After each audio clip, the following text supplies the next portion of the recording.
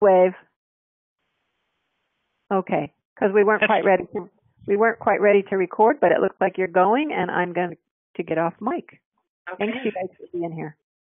Thank you, Lori, and welcome to everybody. Just for your information, for those of you who came in late, we will make all these slides available to you at a later date, and Peg and I will be compiling a list of resources that you'll receive at the end of the third session. Let me introduce myself briefly. My name is Lois. I serve our Woodinville congregation, which is north and east of Seattle. I did the math earlier, or Peg did it for me, and I figured out I'm in my 31st year of ministry. I was in the United Church of Christ as a minister for years and years, doing work with youth and taking them different places in the world to enter into partnerships with folks doing projects in little villages that people had never heard of and chose Unitarian Universalism for reasons of religious and personal integrity. And my first position was half time in Bozeman, Montana. So I'm familiar with the Mountain Desert District. And what else do you need to know? I think that's about it, what you need to know from me. Peg? Hi, I'm Peg Morgan, and I'm the minister at Westside Unitarian Universalist Congregation in West Seattle. I've been in ministry. Uh, I went to theological school in 1995 after I retired from a 30 year social work career. Like I had a lot more life and service to give to the world, and I had a passion for my faith, Unitarian Universalism, and I've never regretted this decision. Um, I'm in my 13th year at Westside, and um, when I was in theological school, I was asked to do a project on lay pastoral ministry, so I've always had a passion for this topic also. So welcome everyone, and a big thank you to Lori for getting us all here. If it wasn't for Lori, we wouldn't be here. Hey, Peg, this is embarrassing, but when I went to theological school, there was no such Uh-huh. thing as a lay pastoral ministry that was Uh-huh. taught or ever referenced. So that's a concept that's come in in the last, at least to my knowledge, in some of the denominations over the last 30 years.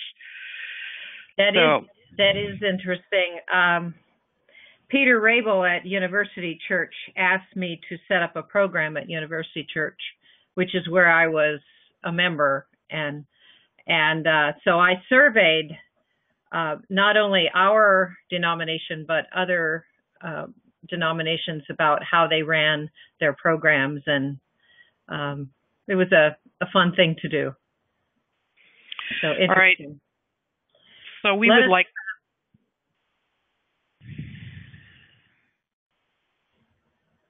we will light our chalice with the words of Reverend Gordon McKeeman, which is entitled Ministry is All That We Do Together. Ministry is all we do together. ministry is that quality of being in community that affirms human dignity. Beckons forth hidden possibilities. Invites us into deeper, more constant, reverent relationships. and carries forward our heritage of hope and liberation. Ministry is what we do together as we celebrate triumphs of human spirit. Miracles of birth and life, wonders of devotion and sacrifice. Ministry is what we do together with one another. In terror and torment, in grief, in misery and pain, enabling us in the presence of death to say yes to life. we who minister speak and live the best we know, with full knowledge that it is never quite enough. and yet are reassured by Wounds healed, and joy shared. Ministry, Ministry is is all all that we, we do do together. together. Sorry, friends, you can't do a reading a line in unison.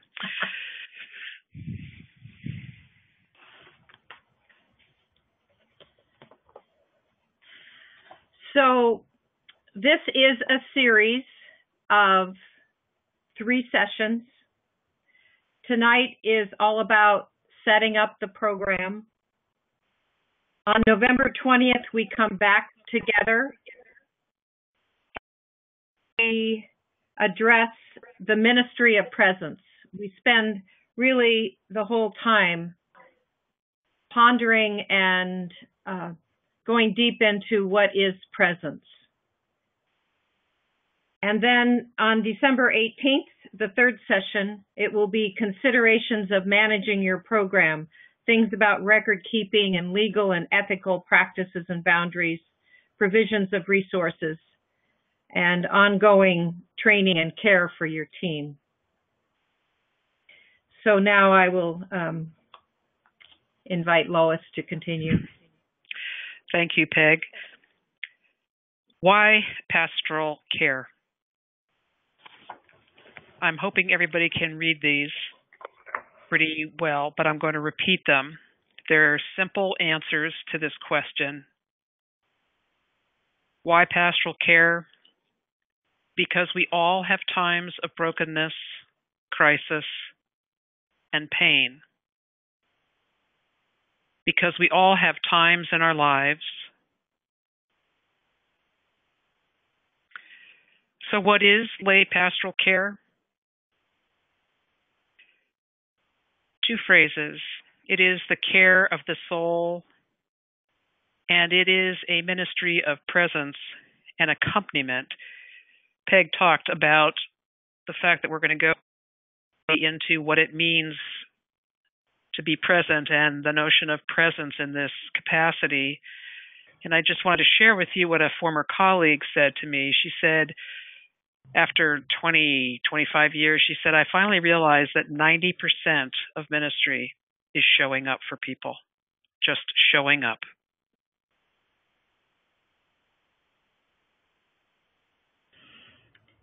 What are the theological and spiritual underpinnings of pastoral care?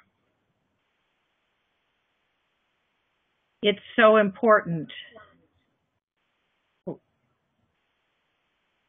it's so important to have a clear understanding of the depths of what we're doing in pastoral care.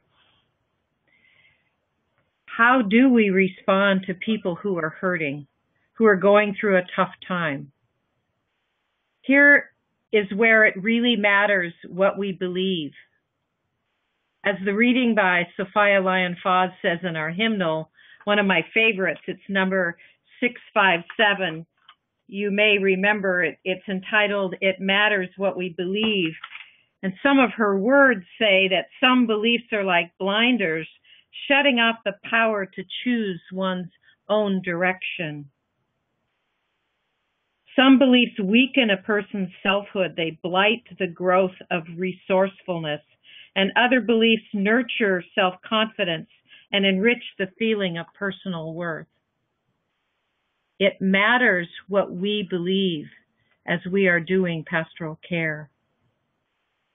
For how we think and feel about another person's troubles is about what we believe about the question, why do painful things happen to good people?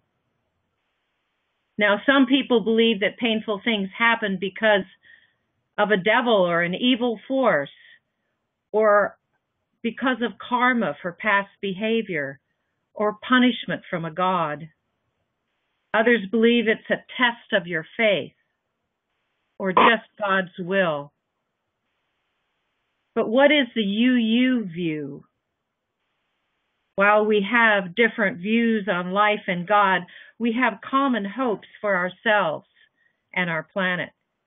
We would generally answer answers already stated, but instead would say that painful things happen because of choices that people make, like driving drunk, or conflict of human wills, like a fight that ends in injury, or confused or mentally ill behavior, such as people who have grown up with abuse and now project that abuse onto others.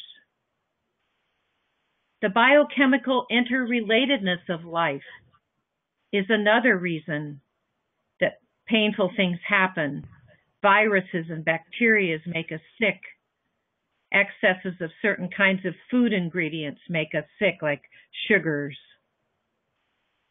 Biochemistry in imbalance, such as some mental health problems. And forces of nature cause painful happenings, earthquakes, storms, and drought, or just being in the wrong place at the time. So things happen to us sometimes as a consequence of our choices, but more often for reasons that have nothing to do with our own actions and choices, often quite unjustly. In any and all cases, our response to when painful things happen to people is not to take the fatted calf to the altar to appease an angry and jealous God. It's not to do a rain dance to beseech the God of rain to let go. It's not to tell people that God wanted their baby in heaven, but rather our response is to give compassionate presence. Reverend Bill Murry, who used to be the president of Meadville Lombard UU Theological School, wrote a book called A Faith for All Seasons. And what he said about suffering is that the universe does not judge, nor does it mete out rewards and punishments. It simply is. The justice we will find is the justice we create. The answer to the problem of unjust suffering is not to be found by questioning God or the cosmos. The answer is our love love of life, love of the world in spite of its lack of justice, and the love we can give to one another. End of quote. Because we believe in the worth and dignity of each person and in the interdependence of our lives, we care about each other. We are built to care. If someone is hurting, the mirror neurons in our brain help us sense that hurting. We want to respond. We don't have to know how to fix another's problems. In the face of life's imponderables, all we should do is sit with another and love them. There is the story of the little girl sent by her mother on an errand. When she finally returned, her mother asked her what took her so long. A friend had fallen and broken his bicycle, and she had stopped to help. But, her mother said, you don't know anything about fixing bicycles. I know, her daughter said. I stopped to help him cry.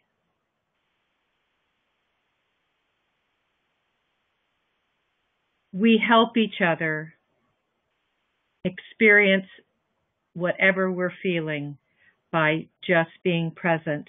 And when we do, I believe there's another theological truth going on. I believe there is a yearning in each of us to share the most precious feelings that lie within us, deep within us, in our sacred heart place. Some would call it our soul place. I believe there is a common human longing to experience someone understanding us, knowing and being kind about what is deep in our heart and soul. It is that makes us feel joy.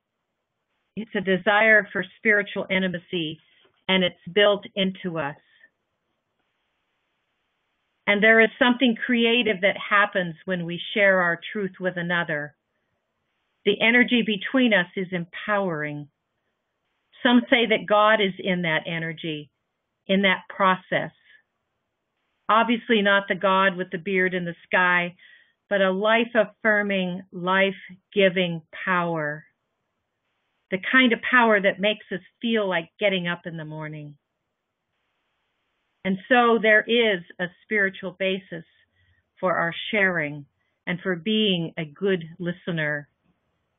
We humans are participating in a most amazing cosmic process. We have come out of a miraculous, even if only partially understood creation and not so very long ago, really. And we are still trying to mature as a species. We are still trying to figure it out. The story of the world is still being told. The world is not done being created, and what we do matters. We are trying our best to be human together. We laugh and we cry. We explore and we wonder.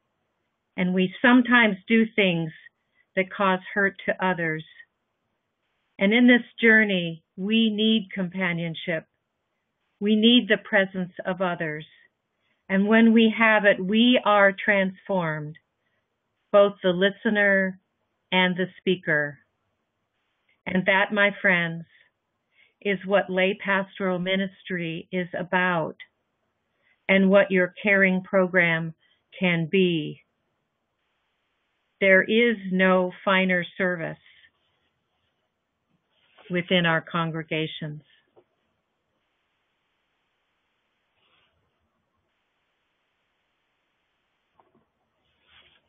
So, Lois, have any other thoughts? yeah, hard to. T- I come back to what Karen Armstrong, that former Catholic theologian writer, says when she says, sort of the te- is compassion its core. And compassion literally means to suffer with. Mm-hmm. So for mm-hmm. me, that's part of that spiritual or theological underpinning. And I guess the other thing to clarify is I mean, as you said, Peg, I don't think we get to know why lots of stuff happens. It just happens. And the question isn't why so much as, but how are we going to survive it? And in lay pastoral ministry, we accompany one another in that journey seeking and trying to find meaning when it can be found, because there are times when it is not. I believe you wanted to ask people to type in something at this point to see if anybody had anything else to add about what they might think the theological and spiritual underpinnings of this work might be. Is that right, Peg? Yes. So, folks, um, feel free to start typing away in the chat box on the bottom left. It's going to be a little bit awkward because we're going to be quiet waiting for someone to start typing. And if you have nothing to add, that's okay. We will take it from where we left off. I think we uh, UUs have a uh, a history of being fix-it people. We're very good at getting out and trying to fix the world, uh, marching and changing systems and injustice work. Uh, when it comes to pastoral care, then we might still have uh, that that desire to fix another person's problems and that really isn't what pastoral care is, is it? No, and um, Sonia says that she writes that I think we aim for a sense of connection and mirroring, which is to, I think, reflect back maybe what you see, um, connection to the person who may be in pain. And I totally agree with what Peg is saying. Is we there are things that can't be fixed, and neither ministers no, nor lay pastoral care folks can fix things. I think we can only stand with people and accompany them in their journeys. hmm Yeah, we we are a fix it people, and there just are things that can't be fixed. And at the same time, the only thing that can be fixed is a person not being alone. Right. Anybody else have anything they want to type in? And if not, unless Peg, you have something else to add about theological or spiritual underpinnings. No, I don't think so. All right, let's let's go on because what we're going to do is look at the differences between what some of you may have in your congregations, which my congregation um, calls cares and concerns. Uh, it's a committee. What's the difference between that and the kind of lay pastoral care that we're talking about? And I want to thank my colleagues, uh, the Reverend Sue Phillips and the Reverend Tandi Rogers, for this particular slide that I have up here. This is from a presentation that they created to help people understand the differences. And I think they're very, very important differences. So, a care and concern committee, for those of you who are on the phone, that's those are the people that send cards to folks when they've heard that they're having a hard time, or maybe they've had a child, or they have been in the hospital maybe I don't know how many people send flowers anymore. We are trying to send prayer flags to people when they're hospitalized because so many people are not able to have flowers or have allergies to them. I just want to go back. Sorry, I'm interrupting myself here because Joan typed in from Tacoma. And it, this is in their definition or their understanding of the spiritual underpinnings for the work that we're talking about. And they say sometimes it's just presence being there for someone. No need to talk, just be there.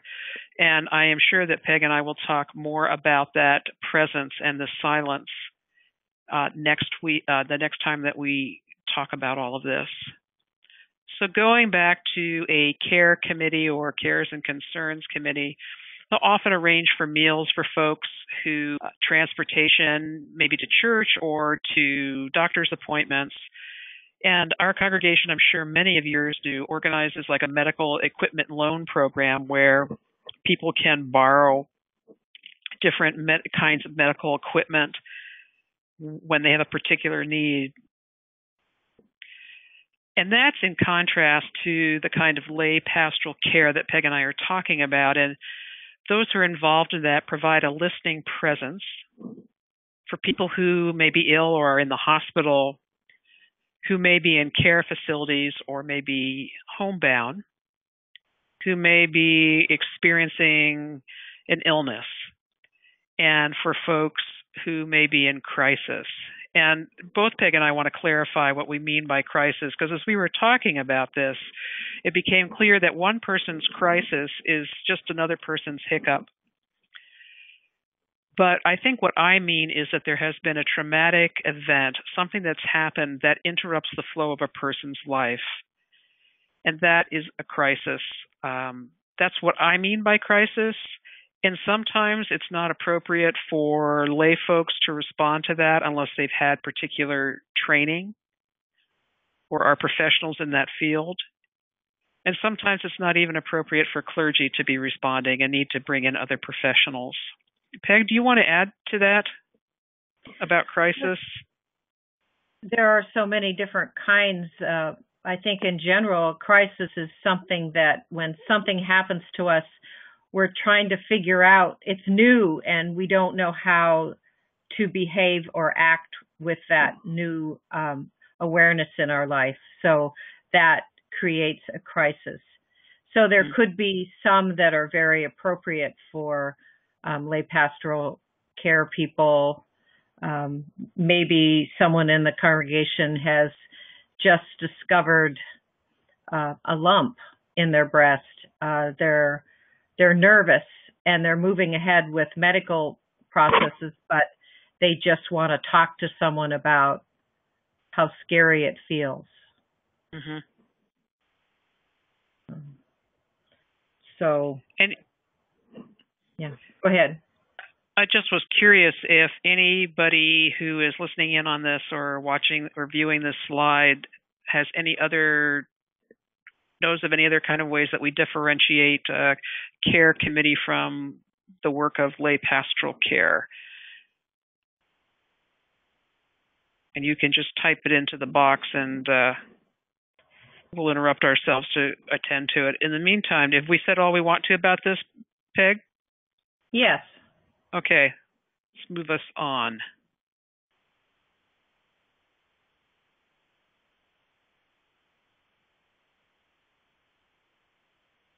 So, what qualities should a pastoral care person possess? It's so important who becomes a pastoral care person because um, the kinds of people that you choose in a congregation to do this ministry, um, their their reputations and their um, already their interrelationships with and reputations in the congregation uh, make a big difference about how people perceive the program. So you want them to have reputations and you want them to be trustworthy and to have integrity. You want them to have the ability to keep confidences and good boundaries. And they need to understand that if they become a lay pastoral uh, volunteer, that changes some of how they are in the congregation because that boundary issue is really important. You you don't want one of your lay pastoral ministers to be um, gossiping around about what folks are doing because then other folks may not think that they can trust them if they're approaching in their role as lay pastor. So um, it does change your relationship with with the congregation. Uh, you want them to have a calm presence.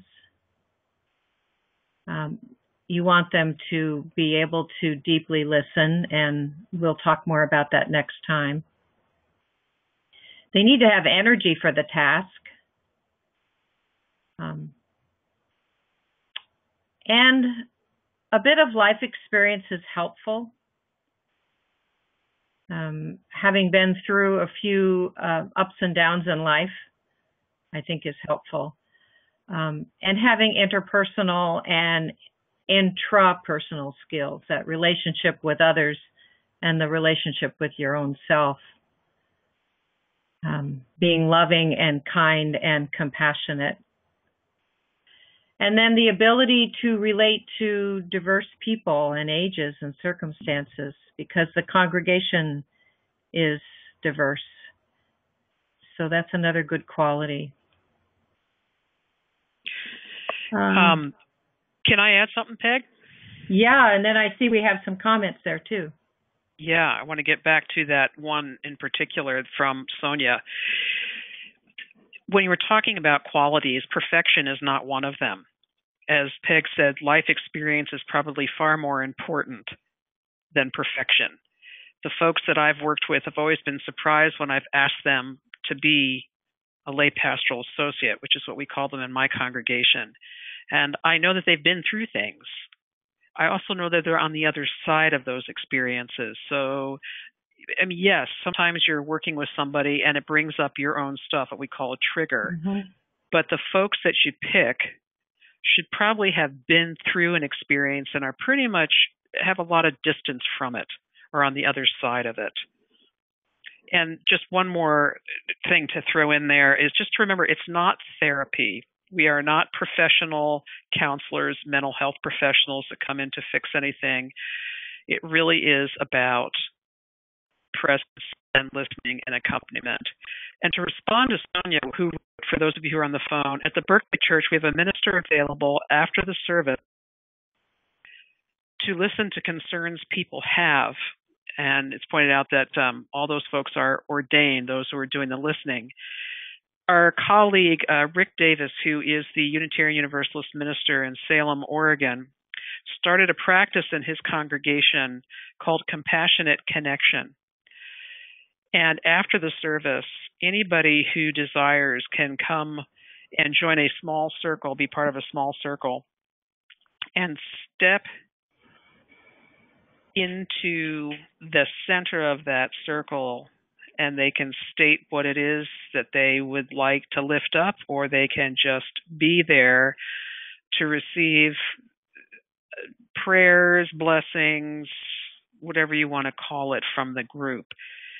And in my congregation, the lay pastoral associates are doing that as well. And it seems to be really helpful to folks just to have a place to be and to, if not necessarily heard, but seen. Hmm. It sounds wonderful. Something they can uh, count on. Yeah, and it's pretty powerful to be both on the the person who is outside the circle, a part of it, and and a person who's in the center of it. Mm-hmm. okay, I just uh, I just got that. The the lots of uh, notes. Of course, I didn't write that mm-hmm. up. Um, Rick, I really need to thank Rick for this, and I think he does a better job of it than I do at times, and that we do. But I also just want to say, as an aside, for those of you who still do the sharing of the joys and sorrows of your lives in a worship service, it helps more people be able to share those joys or sorrows because not everyone is able to stand up and publicly name them. It gives some privacy. It just lets it just opens up the sharing into um, gives more people options. Mm-hmm. Mm-hmm. Okay, I will try to remember huh, to send that in the notes. Thank you, Tahoma. Uh, Lois, you're mentioning the value of life experience and then the value of being far enough through the experience to have uh, maybe more objectivity there or perhaps um, you wouldn't be um, projecting yourself on the person. It, that that's um, a really important point and something that in the process of the of the training of lay pastoral people, it's good to have a piece of paper where people ponder what is it that I have been through and am I ready uh, if I were going to be sitting with someone else? Is it too soon or is it just right? Uh, to have people self reflect on that very question that you, you mentioned. And I'm sure we'll get back to this again, but just as important to know if you're on the other side of something or not. Once you you may accompany people through some things that afterwards you just sort of feel like you need to release what you've been around. So it's really important to be able to practice self-care afterwards and do what you need to take care of yourself after you have sat with someone even if you haven't even if it's not triggering something from your past, some experiences are just brutal to be around. Mm-hmm. Okay. So Should we the go care, on? The care of the caregiver. Yeah, yeah. And we will talk more about that, especially around boundaries. Mm-hmm. We ready to move on? Okay. Okay.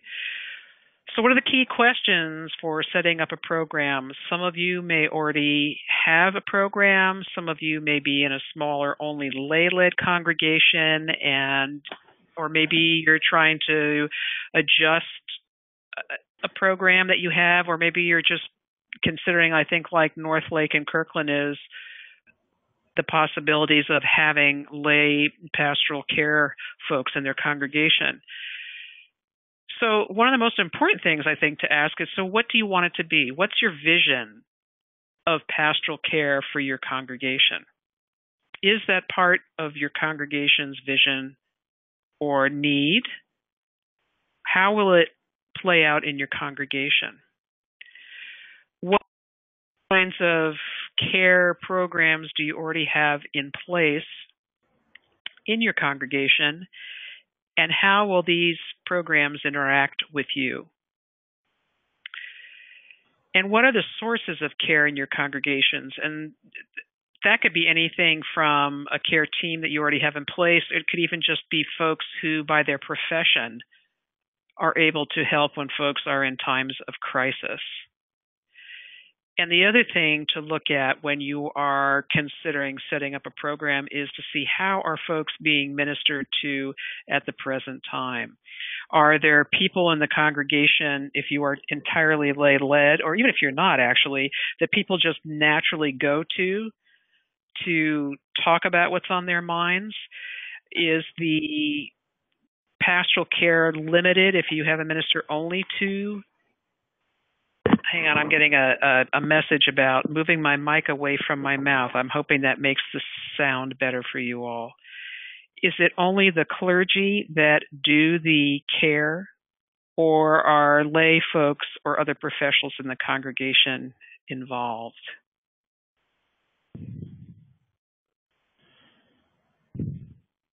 Anything you want to comment on with that, Peg? Yes. Uh, I think as we develop a lay pastoral presence ministry, it's important that what we're doing, and I think what Lois is, is saying here is that there are other programs going on right now, and we don't want to take away from the value of what's going on already, and also the informal uh, presence that people give to each other just naturally. We want that to continue the lay pastoral program being organized is in part to make sure that no one falls through the cracks, that no one gets lost, um, that maybe the quieter ones don't have anyone giving that informal presence.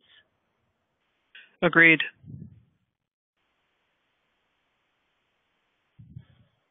Okay. Are we ready for more questions? Yeah, I think you should hit the next slide. How will this program fit your congregation's mission and overall programming?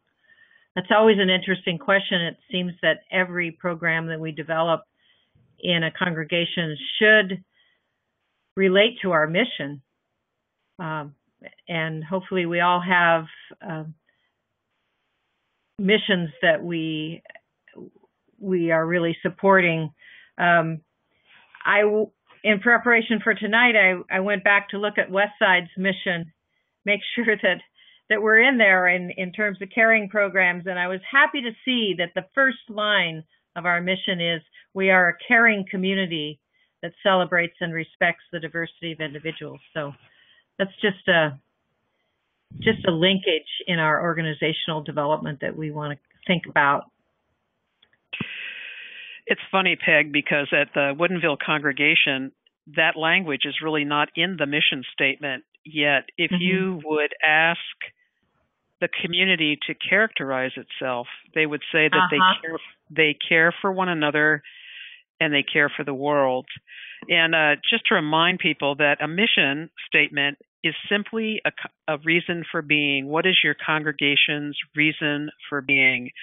And most UU congregations seem to be not just to take care of one another and provide community for people who may be disaffected from their religions of origin, but also to care deeply and to transform and care for our world. And the other thing that they say is that if mission is your reason for being, then ministry is everything that you do in support of that mission. Good. So, who will this team be accountable to? There may be some congregations listening in tonight that don't have ministers. I'm not sure about that. But if there is a minister, then I believe that this program should uh, be accountable to and, and supported and supervised by the minister. But if there isn't a minister, um, other options are certainly available. Um, perhaps it's one of your members who's a human service professional that could be the overall supervisor of this program, making clear though in their supervision that that they're if they're a therapist, they're not trying to have the lay pastoral people be therapists, but they understand the depth of human human uh, compassion and and troubles, so that they would be very good at supervising such a program. And um, another option is contracting with an outside consulting minister for this particular program. Lois, did you have any other thoughts about? You know, it's a, it's it's a. I mean, I think even in a congregation that has a minister, this is an important question. Um, just to make sure people understand that this team works closely with the minister, is trained by the minister, um, meets regularly with the minister, that kind of thing. The other, uh, when when Peg said to potentially contract with a consulting minister, given the technology that we do have available to us now, it would even be possible to have the care team meet via an online platform such as AnyMeeting or Zoom or Skype or uh, maybe not Skype, I don't know, but all there are lots of options to work with someone, consult with someone who may not even be in their state. That's all I have right. for that one. Mhm. I think that what name we call our program is important and I think each congregation has its own culture and and so there's no one right name, but there are a number of names that that have been chosen by different lay pastoral teams around the country. And I think Lois has a number of those that she's going to tell us. So you, Lois? one, or? Yep, I do have it. So lay ministry program, a parish visitors program, lay chaplaincy, lay pastoral care program, the pastoral care team, chaplains, lay pastoral associates, parish visitors, pastoral listeners. And I just want to reiterate that language is important and it should fit the culture of your congregation. Yeah. And but that that's not an exhaustive list. We just wanted to throw out some options for you to in how you're thinking about it. You may come up with something that doesn't even vaguely relate to that any of the ones that we've mentioned. And if you have other ideas, you might type them into the chat line. Our lay pastoral program at Westside began with the idea that we would be called uh, pastoral listeners. But as we got into it, we decided that we wanted to be called pastoral uh, pastoral visitors instead. Just because in our culture we thought that might feel safer to people that we're going to come and visit with you. We're not coming to to listen to you. Just a subtle difference, but you just want to look at your culture and think about what what the subtleties would be for you. And likewise, in the Woodinville congregation, we were intentional about saying lay pastoral associates to imply that they were working closely with the minister to Mhm. help provide the umbrella of care. Good. Then there's the question of how will you receive referrals and how will you promote the program? And if, one of the major pro, uh, questions you have to answer is if you if you do have a, a minister, should all the referrals come through the minister or not? If all the referrals don't come through the minister, if you let your lay pastoral associates um, kind of get self referrals, like during social hour, someone approaches them and says, I'd like to spend some time with you. I'd like you to spend some time with me. I've got something on my mind. Um, then I think that the minister should always know about who the team is seeing. I think there are, can be too many complications if if they don't. But that's a major question: is where do the referrals come from, um, and if and how to promote, which is they're related questions. Some of the ways that you can promote are, of course, newsletter and order service and um, I think Facebook was even mentioned, um, talking about the the program on Facebook.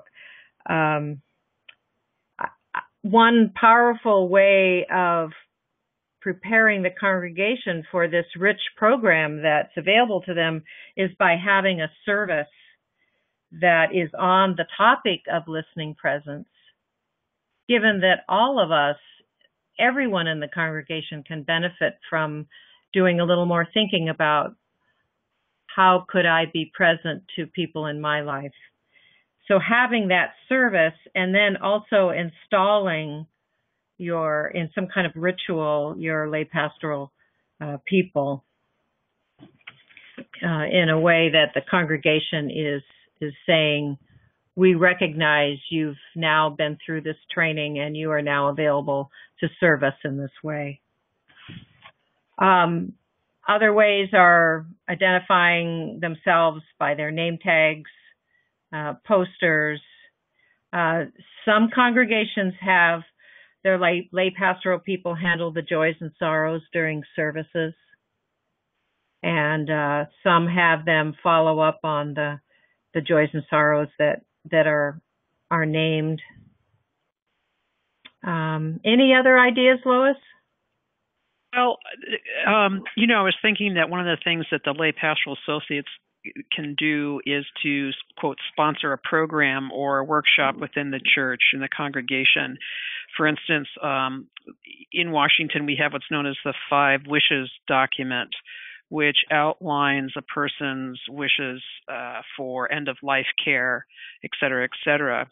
These are really important document, not just documents, but conversations to be having um, we had before we had a lay pastoral associates, we had the Cares and Concerns Committee sponsor a workshop on um, uh, decluttering because sometimes that can be a real issue. But I'm just saying that it, you don't have to pick either topic, but to have the lay pastoral associates or the care team sponsor some sort of workshop or maybe something on death and dying or something on what am I thinking of care being a caregiver.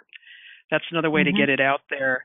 Um, the other way that I constantly advertise the lay pastoral folks in my congregation is that whenever I'm gone for a professional or vacation, um, my signature on my email lets people know I'm out of town and it says, in case of a pastoral need, please contact these individuals. So that's how I do it. I also want to just add something else. You know, there are always well intentioned people in our congregations. This has to do with referrals who are kind of, you know, nosing around or know something about somebody and then want to pass that information on and uh, can either blow things out of proportion or break confidence or try to get people involved, um, maybe when folks want privacy. So, like if someone comes to you and says, Hey, I'm really worried about so and so, that's not exactly a referral. You get my catch my drift it's sort of considered the source. And something else I just wanted to say is that there may be a situation that's public and you may have different teams of folks or different committees or different ways that your congregation does ministry and you might have people overlapping or actually um, doubling up on efforts or making calls to an already stressed individual or family. So it's really important to have a lead or one person be the point of contact in a with a family or an individual and that mm-hmm. that person then communicates to other folks on the care teams or the the rest of the congregation. Mm-hmm. I think that's really important, Lois. Um, at Westside, we've developed a program called, uh, as part of our care team, that is uh, has a number of people who are agreeing to be care coordinators. So a couple times a year, they agree that they will on um, someone's coordination of care, and that's when the it's someone that has that's going to need ongoing, not just one or two things, but maybe for six weeks they'll need some meals and rides and um, so everything focuses with that care coordinator. Mm, hmm Anybody else? If you have ideas about how you think referrals would get passed along or how to promote the program in your congregations, please feel free to enter it into the chat box.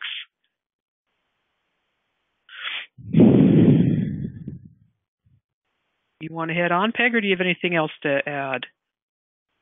I don't have anything else to add. I was just watching the notes to see if anyone has any other ideas. Ah, excellent question. Mm-hmm. Go ahead, Peg. How do care and concerns work with lay pastoral care? I think sometimes care and concerns um, uncover a need for lay pastoral care, and so they um, they contact one of the lay pastoral people, and it goes both ways. Uh, the lay pastoral people often find that there are when they're visiting and and finding out about the person's life, they find out that they could use some practical hands-on help. So it's it's really a synergism between the two groups. I, my my short answer is very intentionally.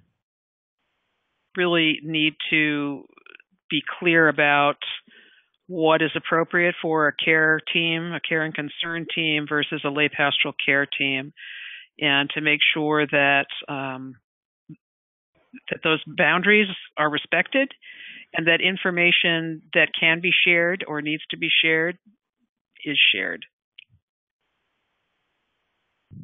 Thank you. All right. Okay, so next. Yeah, the job description. What is it exactly? I think we've hit it on the head many times.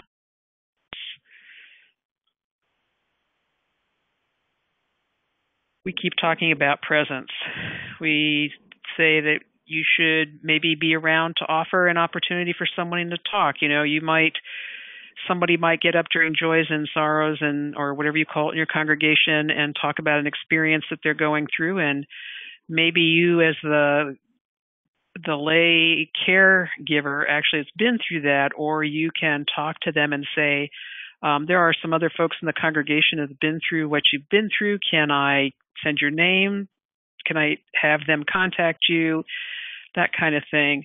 Again, to offer empathy, compassion, emotional support and depending on who it is, that person might need to be prayed with or ask you to sit in meditation with them or to provide other kinds of spiritual support. And what's important is that you have a sense of your own spiritual practice so that even if what they're asking of you isn't your practice, you it. I, I find that folks who have a a sense of what it is that keeps nurtures them spiritually are far more able to be in the presence of folks who may not share that same path. And to nurture that um, i was in a class with a really wonderful zen teacher who started the first zen aids hospice in san francisco in the 80s and he talked about before going in the room to start already to be in meditation. And as soon as his hand is on the knob of that door, he is stopping for a moment to prepare himself and then open the door and go in almost in a state of meditation to be with somebody. The other thing that we can do, or part of what I think the job description is, is to be able to refer people to other resources because there are folks who need professional help. Maybe it's mental health uh, referrals, maybe it's physical ailments, maybe it's like this problem of hoarding, but may, maybe it's legal help that they need. So can you, if you don't know, tell them you will try and find other people that you can refer them to to work on what's going on for them. Anything you want to add to that, Peg?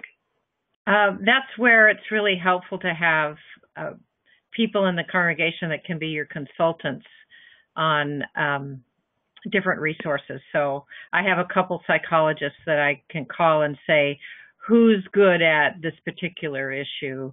Or what's a resource for that? And social workers can be helpful and yeah. Absolutely. Absolutely. Let's go and are we okay on that slide? Uh-huh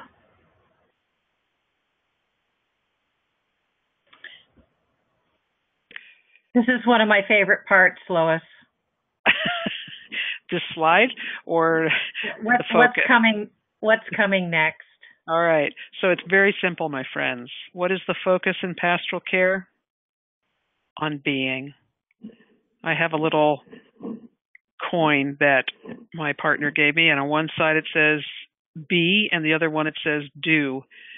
And flip that coin when you're in this role to be to go on being on being present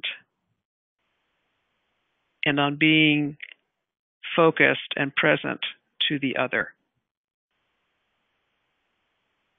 You know, a lot of people, you probably know this, when you're telling them something that's been going on in your life, they want to tell you their story. Or when you're in the hospital, they come to visit you and they start talking about their experiences of when they were in the hospital. And frankly, that's not particularly helpful.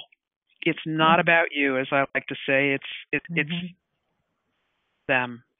It's about almost being um, a blank wall, if you will, a clean board that they can put their what's going on with them out on. That's hard though. It's hard because sometimes we get anxious and when they're talking about their problem and it's easier just to fill the fill the air, fill fill the uh, you know the space with our own story. Then, uh, so I'm I'm just naming that it's hard. This is not easy, but it's precious. Perfectly put. Hmm. it's a practice. Yes, it is a practice. How do we choose these people that are going to do this precious work? I think we want to be aiming for diversity from the congregation. We want some young people, we want some older people, we want all different kinds of of demographics, uh, racial, um, moms, dads, that just makes sense because then there's more people that are going to feel like, oh, there's someone there I can talk to. and I would also, I really think it's important to have gender considerations, and um, I don't just mean the typical ways we've talked about gender, male or female, but if not somebody who identifies as queer or somewhere on the spectrum, then somebody who is at least familiar with those kinds of issues that because so many um, parents for instance in our congregations are having their children now identify as queer or trans. And it's a very specific kind of support that they need. So it's really helpful that we have some sort of representation in that way. Go ahead peg. Thanks. Thank you for adding that. Important. Uh, and then there's the question of applications versus appointments. And I really have a bias on this myself, having been through um, uh, processes where we put it out to the congregation, not not where I'm at currently, but in the past. Um, would you like to be a lay pastoral associate? And and then here's an application, and then we did interviews versus the the way of deciding for yourself who do you think in the congregation uh, are the right people for this. Now, you don't need to do that in a vacuum, but my bias is to not do the applications because I think you can hurt people's feelings and and this is precious work and then to say no I don't want you you you it's just it gets complicated and sticky. But what I like, uh, what worked best for us recently was to uh, put out to the congregation the question of who do you naturally tend to talk to within the congregation if you had something on your mind. And we got all these names and duplication of some names. We really got a sense from throughout the congregation. Um, so there was some diversity in that too then. Um, and that worked better to take all those ideas and then whittle, whittle it down. Uh, people didn't necessarily even know that they were named by others. Uh, Lois, do you want to add anything there?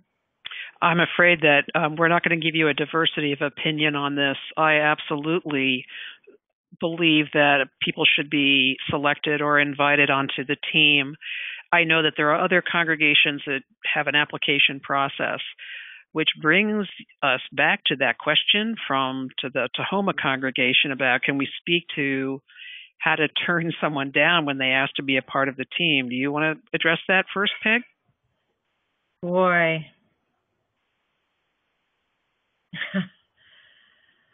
um I think that at the church that we were at, we the way we did it was that we had so many positions and and that there there were some people that uh, we just had to say we had so many applicants thank you um, but it it i don't think it's it's just not a good thing to have to be in the position to do. So I wouldn't put myself in that position again. But you might we uh, so the question is so what happens though if someone just comes up to you and says, "Hey, you know, I really want to be a part of this team." Um what but but if they're appointed then what if someone just asks about that's what I'm doing. So if someone comes up and says, "Hey, I know we've got this program. I really want to be on this team. What do you do about that?" Um this point now where I've decided that there are times when it's not helpful to people when we don't speak truthfully. I don't mean in a way to hurt them, but to say that, you know, this isn't a fit. And if they want to know why, and if you think they can actually hear it, try to work with them on that. Try and talk about another way that they can be involved. Um, and sometimes you just have to draw the line and say that's not an option or it's not it's we can that's not how we best want to have you involved in the congregation and i think you have to take it case by case yeah uncomfortable there may be there may be another care role that they can take right. i would really i would really want to see what their gifts are and and try to um, to um, in a different place.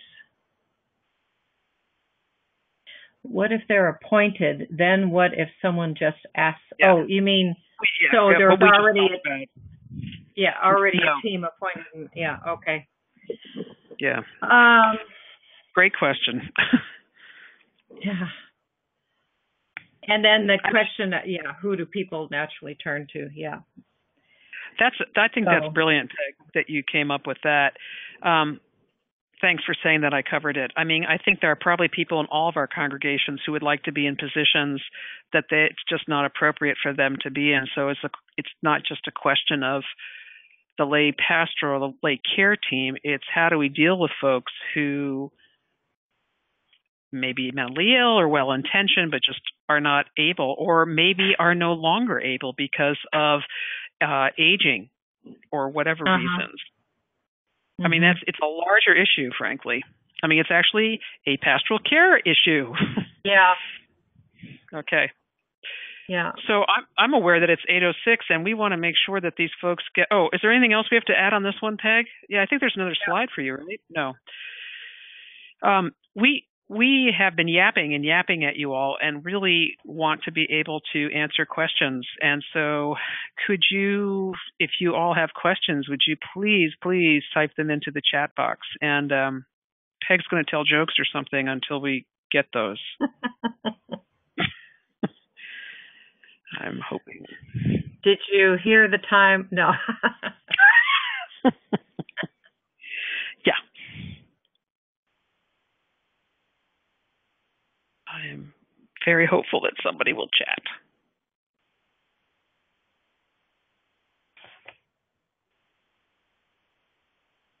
Oh, okay. oh. Bye, bye, Sonia. Hopefully, see you um, another time. Quiet bunch of you all out there tonight, aren't you?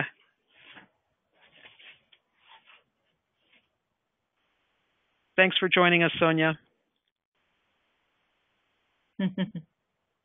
um, here's what I'm interested in actually knowing from all of you. I don't know if I'm curious of how many of you out there actually already have these programs in place. How do you avoid the perception that receiving lay care, oh, let me i have to digress for a moment i once served in a congregation where i was the associate minister this was there was a senior minister and a parish nurse and if all three of us didn't come visit the person mm. Then they were insulted and mm. it was a it was it was um they were they felt slighted and it was really hard and so what we had to do is just to say that you know peg's the lead on this one and she will be the one interacting with you or while Lois knows that person, she will be the one. So to say um, that it's not about being inferior, I mean, some people would rather talk to, not talk to their minister, but have a, a peer that they can talk to. And to say that um, due to the fact that we all have very busy lives or loads, that we are doing shared ministry between the lay folk and the minister, and that different people will be taking the lead in different situations. That that's my you know shooting from the hip mm-hmm. response. What do you think, Peg? Mm-hmm.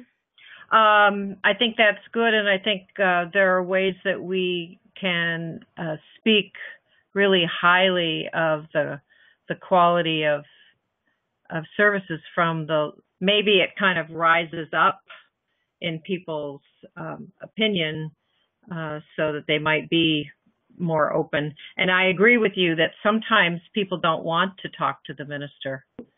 Uh, they would rather talk to one of the lay people. So sometimes I even uh, people people can make the choice. Would you like to have this person or this kind, you know, this service or or the minister? So Great question from Calgary. What sort of initial training should be offered for lay pastoral caregivers? Um, we're getting into that, aren't we? In the next time, Peg. I mean, yes. Um, yeah, I think I think we'll get into it next time. Um, I, I do. We're also getting into it a lot in the third session. Okay. But so, the primary thing is presence. Is is is practice in in listening presence. I, I do want to put out one resource tonight. It has been put together by the Reverend Barbara Myers. Um, she is at the Mission Peak congregation in Fremont. And I believe she put this together. No, that's not where she did. It. Okay. To make a long story short, she has put together a phenomenal uh, lay pastoral care guide. And ironically, she says that they're now in the process of revising it. But she'll she has like a page that would say, for instance, how to um, deal with, with someone who, in the aftermath of a suicide, uh, the death of a beloved pet, uh, divorce, uh, loss of a child, uh, um, an abortion, those kinds of things. And it's a great resource. That she asked for a donation, so it's uh, Mission mm. Peak, Reverend Barbara Myers. Um, and and but Peg and I will go through as much as we can in the next two sessions. Um, other core topics. Yeah, other core topics will be uh, boundaries and ethics and legalities. Um, uh, reporting what what reports you want to keep uh, or you don't want to keep. Um, things like that so I think that that is essential, the sort of the legalese, if you will, about you know what do you do if or when, and what what do we have to abide by? What are the legally or just within the covenants of the congregation? As Peg, we keep coming back to what it means to be present, to listen, how to do good self care, how to set up boundaries, to know when you're in over your head I mean, even when you're in the middle of talking with someone, if it's just too much to be able to say, you know what, I, I need you to stop right now. I feel like this isn't, I'm not able to offer you what you might need right now, and I'd like to refer you to blah, blah, blah. I mean, that can often happen when folks are really in having a I'm not going to say a mental break, but just really distraught or overwrought. Um, I would really encourage. I think it's really important to learn to what I call refer, refer, refer. I think what we're what we'll get into this again, but you are there not in an ongoing way to be in place of a therapist or a family or a partner or friends. You are there uh, maybe in intensity for short periods of time, not uh, continuous ongoing in-depth presence to somebody.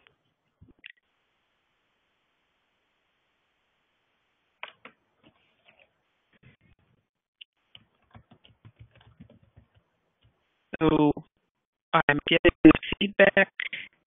Yeah. I am so sorry. Let me see if I could do this better. Well, what you were saying is that we're not seeing people in the lay pastoral program. We're not seeing people for a long, long time. It's it's a shorter term presence and referring out if need be.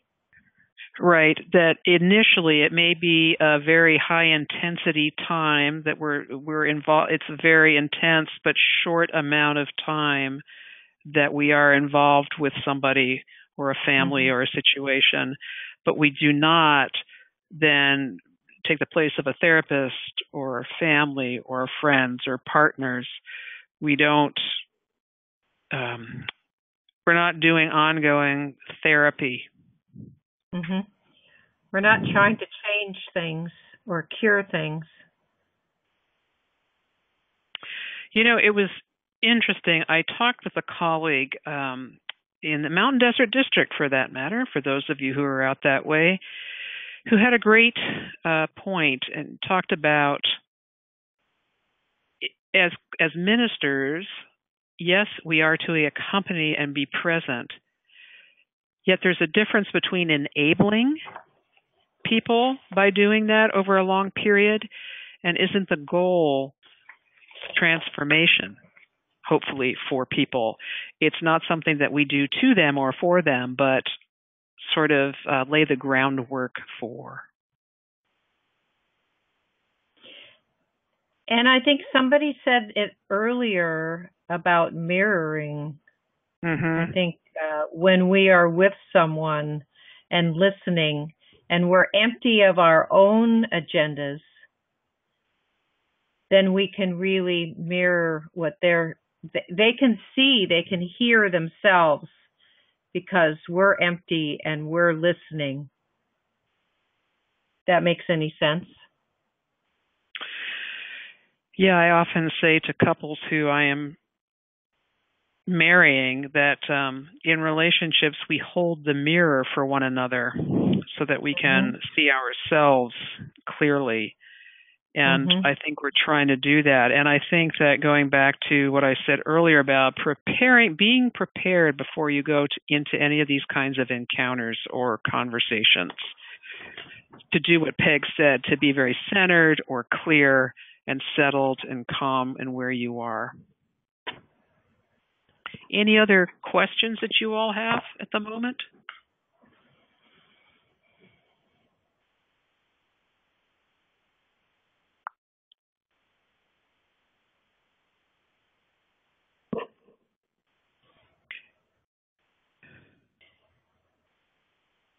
Well, maybe maybe it's time for us to um, close the session. What what Lori would like everyone to know is that we should always give credit where credit is due.